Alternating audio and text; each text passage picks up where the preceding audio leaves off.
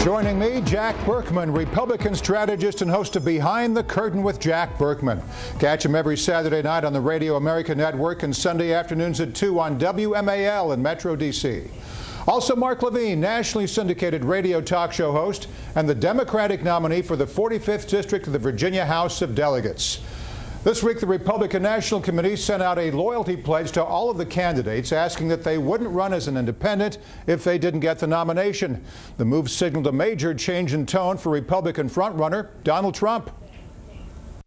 The best way for the Republicans to win is if I win the nomination and go directly against whoever they happen to put up. And for that reason, I have signed the pledge with a giant marker. And just last month at the first GOP debate, Trump refused to make the pledge. Jack, what's your take? Is this a good move by Mr. Trump? Yeah, it's a good move. I think it's substantively irrelevant, Morris, because if Trump were an independent, frankly, if anyone were an independent in this climate, I don't think you could win a single state, maybe one small state somewhere. I don't think it means a whole lot. Actually, in terms of substance, I think Trump was right the first time uh, when he basically said, I, you know, it's the right answer because you don't foreclose your options. You know, it's like pledging in absolute terms, I will never raise taxes. Well, what if there's a war? What if we run into World War II or 9 11 or what have you? So you should never say never, but politics, sure, it's a good move. Now, many in the party were upset that the RNC would even send a loyalty pledge to the candidates, even though it's not legally binding. Mark, what do you think of the move as a whole? Should the RNC make its candidates promise not to run as an independent? Well, I don't think so. I mean, it makes sense for them. They're trying to get some kind of loyalty. It's not legally binding, though. Donald Trump knows that. He's been through enough litigation to know what's legally binding and what's not. It is, however, his ticket to the South Carolina primary. He couldn't participate otherwise. So he's basically playing by the rules they set out for him. Wink, wink, nod, nod. They asked him why he signed. He said, well, right now, you know, I don't intend to run as a third party candidate. His intentions may change later. I, I don't think it means anything, but the Republican Party, I'm one, sure, is happy. One thing you have to understand about Trump, Morris, is that Trump will not spend a lot of his money. He'll spend, right now, it's cheap. I mean, Trump might part with 50 or 60 million, but he's not going to get into spending a, a hundreds of millions of dollars. To run as an independent candidate, to even think about doing that, Trump would have to be willing to spend about a billion dollars. That's billion with a B. He's got it. Ballot. He's got it, but I can tell you, uh, Donald Trump, uh, he doesn't spend money. He throws nickels around like sewer tops, as the old expression well, we'll see. Jack. He said that if the Republican Party treats him fairly, then he's fine with the Republican Party. I think Trump's definition of fair, maybe he wins the nomination, in which case he doesn't have to leave. But if he doesn't win, he may just try that third party thing. Trump also continued his feud with Jeb Bush. The two have been throwing barbs for the past few weeks. But in a recent interview with conservative website Breitbart, Trump said, quote, I like Jeb. He's a nice man, but he should really set the example by speaking English while in the United States. Now, Bush speaks fluent Spanish, and he's been taking questions in both English and Spanish. Here's how he responded. Part of it is you laugh because it's so bizarre, but it's hurtful for a lot of people, and Mr. Trump knows this. He's appealing to people's angst and their fears rather than their higher hopes. All right, Jack, about a quarter of Americans are bilingual. Should they be discouraged from speaking other languages? No, no one should be discouraged. Morris, let me, let me answer that question this way. In the last 30 days, I've been to Mexico City, I've been to London, and I've been to Toronto. I just got off the, a plane from Toronto. When I landed in all three of those cities, there was only one question people wanted to ask, and that's what's going on with Donald Trump. Nobody asks about anything else in American politics, probably anywhere in the world. That told me just about all I need to know about who our nominee will be and probably how the general election will go next year. Mark, okay to speak Espanol? Uh, I can't believe Donald Trump had the cojones to say something like that. I mean, I think the melange of languages that makes us all one country, e pluribus unum, that's what makes America great. It what allows me to enjoy jazz at my Chinese restaurant and then go to a sauna afterwards. The irony is that Trump says he wants to make America great again. It is our multiculturalness that makes America great. Well, one thing to remember, Trump is polling well uh, with people of color. He's doing well with minority groups. He's doing much better than expected with Hispanics. He's doing fantastically well with African Americans. There is no, no the three African American Republicans are they the ones that are polling well with him? Maybe so.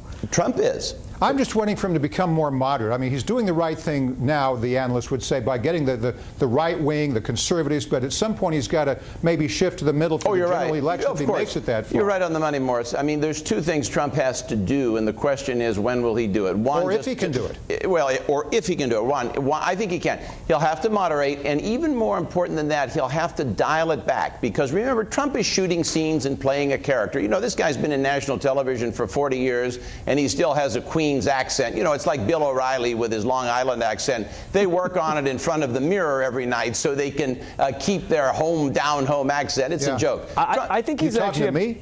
You I- talking to me?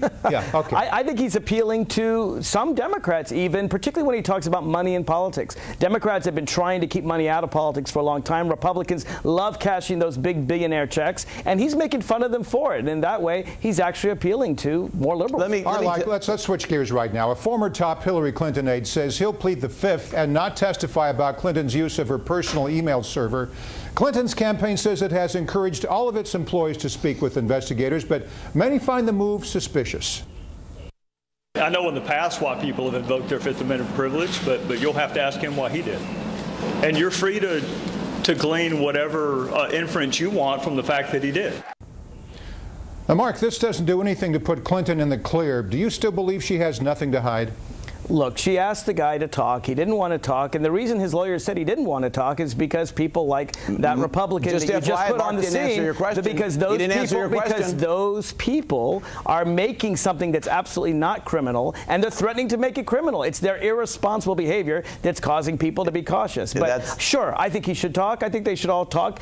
Bill, uh, Hillary Clinton didn't do anything wrong. She didn't violate any law. And what's be interesting is I want the reporters to go after Jeb Bush, who also put his stuff on a private server, presumably to avoid Freedom of Information Act requests. Did it violate Well, Florida's Jeb Bush- sunshine law? Let me when will people ask his people under oath Well, why they put him on a private You're going to server? have you're going to have trouble with that analogy, even if it's true, even conceding it's true. Jeb Bush wasn't Secretary of State. Hillary no, Clinton but Florida has sunshine laws. And did he put his stuff on Yeah, a private don't server to any- avoid those laws? Yeah, I don't well, know. No one's not- asking him. There's not much classified information coming in and out of Tallahassee, so who cares? Look, Well, this here- wasn't classified. Here's the No one said that any of this was classified. No one Here's- said any of this was here's, here's the bottom line on all this, Morris. It has now become clear, and everybody knows it, and I don't even think Democrats are contesting this. Even people like Lanny Davis aren't contesting this from a legal standpoint. It has now become quite clear that she had classified information in the personal email. This company that was doing it, everybody's running for You the say quite clear, This but this it's not. There's not a single email. Well, the that was question or classified at the statement to both of you, why doesn't somebody say, look, yes, we had it on my private server because we don't trust the government su- server.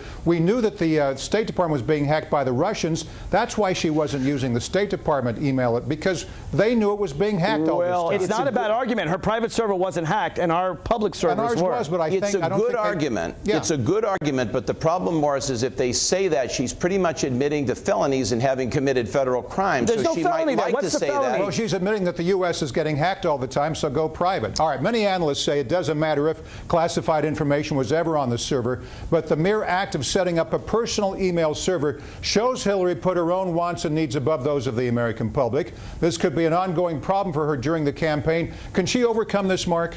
Again, Colin Powell did it. Uh, Jeb Bush did it. Virtually all the governors. Chris Christie did it. But they're not In running for president. Well, Chris Christie and Jeb Bush are running for Okay. president. Uh, I, I don't think this is the issue. If you don't like Hillary's policies, fine. Don't like her policies. I do think this is a red herring. All right, let's move on. There's a mass migration crisis hitting Europe right now.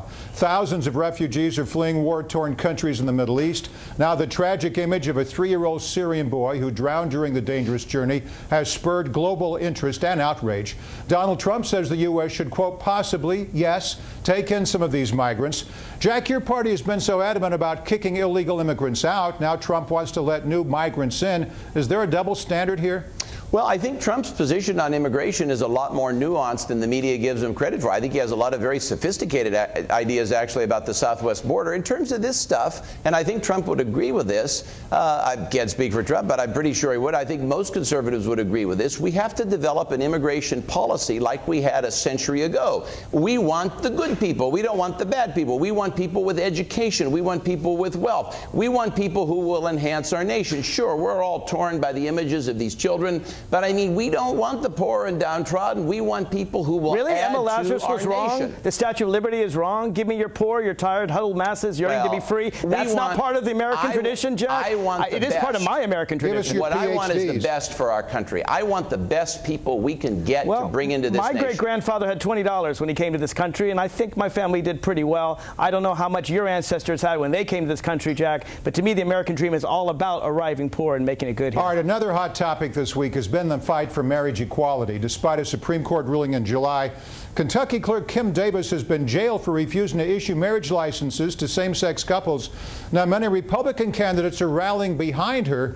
Jack, is this the wrong move for your party? A majority of Americans believe in gay marriage. No, I think it's it's the right issue. Remember, Morris, in politics, you don't want the result, you want the issue. So the recent Supreme Court ruling is very good for Republicans and very good for conservatives in that it, it enables us to continue this. Had we won, there wouldn't be much to talk about. You always want the issue. Now we have the issue. This person is just raising her status. Of Wow. course, she's Wow. raising her Jack. status in Kentucky.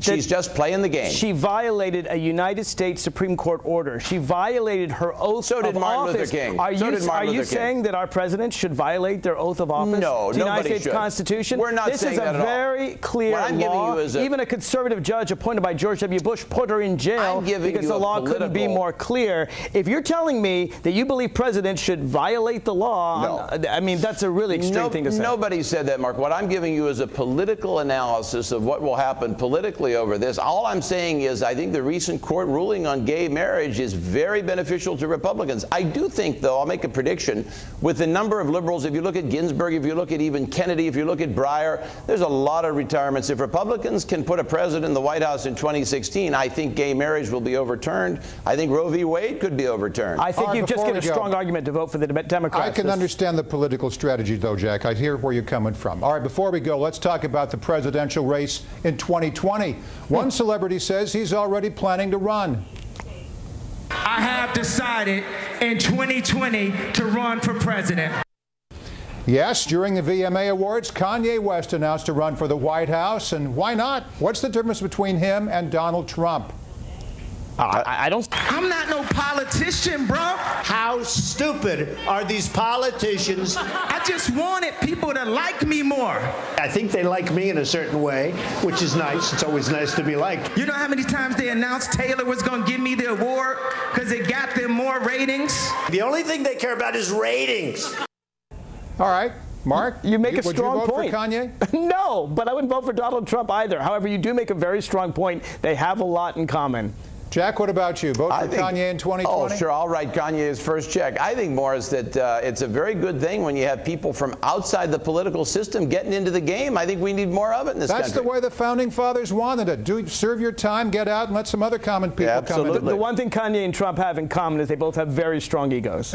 All right, Mark Levine, Democratic strategist, Jack Burkman, Republican strategist, the best political panel on TV. Thanks to you both. Thank you, Thanks, Morris. Morris. Thank you, Mark.